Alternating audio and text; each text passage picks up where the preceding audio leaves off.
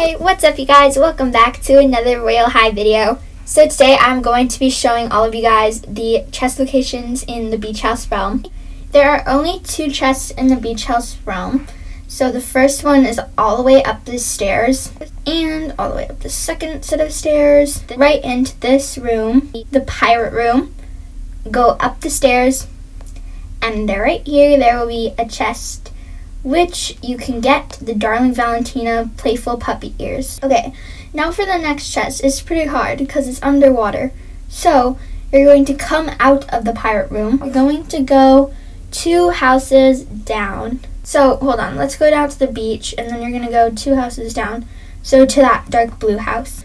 Then you're going to see this arch of rock, and you're going to go through there and swim out. You can also collect some seashells while you're at it. Oh wow, 120. 18. You're gonna swim out. It's not that rock, I don't think. But basically, there are a couple rocks around here. So, basically, all you have to do is keep swimming out, and I'm pretty sure it's this rock right here. If it's not that rock right there, then there are other places for it to be, but not too many. There are about five rocks, I'd say, so they're not hard to find.